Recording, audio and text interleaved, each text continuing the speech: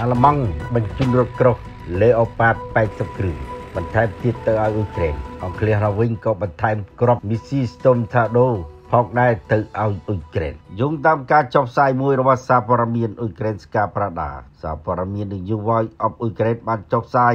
នៅថ្ងៃទី27មករានេះបានដឹងថាអាល្លឺម៉ង់កំពុងរៀបចំបញ្ជូនប្រព័ន្ធការពារដរកាស Erex-T ដំណាក់ការចុងក្រោយទី ប៉ុន្តែនៅក្នុងនោះគឺមានការបញ្ជូនផងដែរនៅរថក្រោះ Leopard ចំនួនទី1 A5 ទៅឲ្យអ៊ុយក្រែនដែលនេះជាការបញ្ជាក់បន្ថែមទៀតដោយរដ្ឋមន្ត្រីក្រសួងការពារជាតិអាល្លឺម៉ង់ Boris Pistorius ដែលបានប្រកាសលើទំព័រ website របស់អាល្លឺម៉ង់អាល្លឺម៉ង់ជាប្រទេសដ៏ធំបំផុតមួយផងដែរក្នុងការបញ្ជូនសព្វាវុធទាំងឡាយទៅឲ្យអ៊ុយក្រែននៅខណៈនេះអាល្លឺម៉ង់ប្រកាសថា ខ្លួនគេនឹងធ្វើការវឹកវើនកងទ័ពអ៊ុយក្រែនដល់ទៅ1000នាក់នៅឯជំរំវឹកវើរបស់ខ្លួន នៅក្នុងឆ្នាំ2024នេះហើយថ្ងៃនេះអាល្លឺម៉ង់បានប្រកាសថាខ្លួនគេបានបញ្ជូនអធម្មភិកចក្រពហុមុខនេះយ៉ាងតិចចំនួន6គ្រឿងទៅឲ្យអ៊ុយក្រែនដែលជាផ្នែកមួយនៃការចាប់ដើមបញ្ជូនជំនួយយោធាទៅឲ្យអ៊ុយក្រែនក្នុងត្រីមាសទី2ក្នុងឆ្នាំ2024នេះ រដ្ឋមន្ត្រីក្រសួងការពារជាតិអាល្លឺម៉ង់ Petrus បានបញ្ជាក់ទៀតថាវិស័យការពារដានអាកាសគឺជាអាទិភាពបំផុតសម្រាប់អាល្លឺម៉ង់ក្នុងការបញ្ជូនជំនួយទៅឲ្យអ៊ុយក្រែនហើយថាជំនួយរបស់អាល្លឺម៉ង់ទៅឲ្យអ៊ុយក្រែនក្នុងកញ្ចប់ថវិកាថ្មីនេះសម្រាប់ឆ្នាំ2024គឺមានរហូតដល់ជាង7000លានដុល្លារសហរដ្ឋអាមេរិកនោះស្របពេលជាមួយគ្នានេះចក្រភពអង់គ្លេសនោះវិញត្រូវបានរៀបការមកថា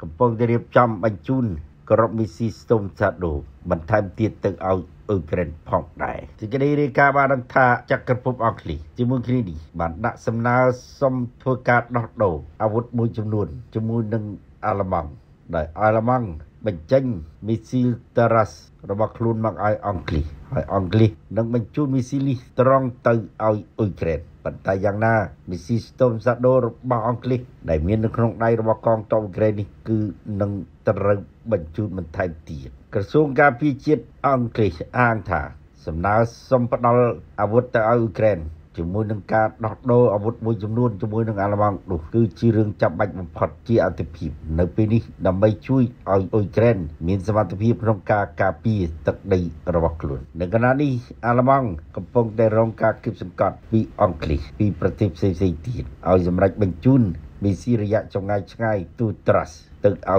យក្រែនប៉ុន្តែយ៉ាងហោចណាស់គេដឹងថាអាល្លឺម៉ង់ជាប្រទេសឈាមមុខគេក្នុងការផ្ដល់រថក្រោះ Leopard 1 Leopard 2ទៅឲ្យអ៊ុយក្រែនថ្ងៃថ្ងៃនេះមន្ត្រីការទូតចុងខ្ពស់របស់អង់គ្លេសបានប្រាប់សារព័ត៌មានអាល្លឺម៉ង់ Germany Daily ចាំថ្ងៃរបស់ខ្លួនថាអធិការបតីអាល្លឺម៉ង់ Holland School ក៏បានស្វាគមន៍ផងដែរចំពោះសំណើដោះដូរអាវុធរបស់អង់គ្លេសជាមួយអាល្លឺម៉ង់ ហើយបញ្ជូនអាវុធមួយចំនួនដោយត្រង់ទៅឲ្យអង់គ្លេសកាលពីថ្ងៃទី17មករាឆ្នាំ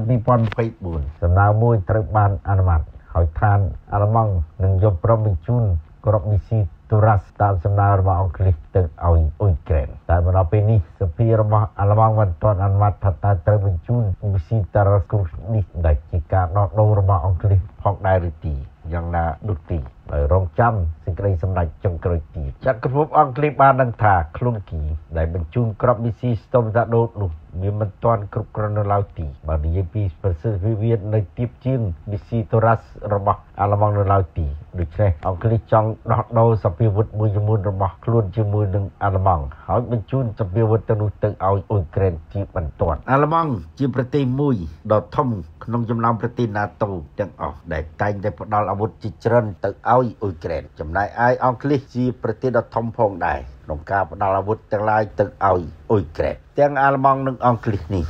ត្រូវបានគេកំណត់ថាជាប្រទេសមានសក្តានុពលខ្លាំងក្នុងប្រទេសអង្គការ NATO